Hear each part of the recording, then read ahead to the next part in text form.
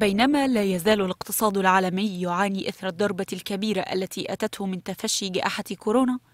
تلقى ضربة أقوى على خلفية هذا المشهد المرتبك والخطير في أوكرانيا. إثر العملية العسكرية الروسية. ضربة قلبت بعض الموازين من بينها أسواق السلع والطاقة وكل الاستراتيجيات التي وضعت للوصول بالاقتصاد العالمي إلى مرحلة ما بعد جائحة كورونا. صندوق النقد الدولي في أحدث تعليق على هذا الصعيد أكد أن الحرب في أوكرانيا والعقوبات الكبيرة على روسيا تسببت في انكماش التجارة العالمية ورفعت بشدة أسعار الغذاء والطاقة وستجبر الصندوق على خفض توقعاته لنمو العالمي الشهر المقبل. وتوقع الصندوق أن يسجل نمو الاقتصاد العالمي 4.14% هذا العام بانخفاض نصف نقطة مئوية. فيما خفض بالفعل توقعاته الاقتصادية للولايات المتحدة والصين والاقتصاد العالمي إجمالا في يناير.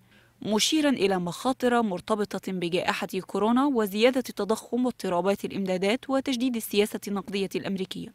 وبينما تجد الأسواق الناشئة الآن نفسها في منأى نسبي عن تداعيات الصراع إلا أن ذلك ليس مضمونا إذا ما تعمقت الحرب وطال أمدها. خصوصا في ظل تأكيدات روسية أن العملية العسكرية ستمضي حتى تحقق أهدافها.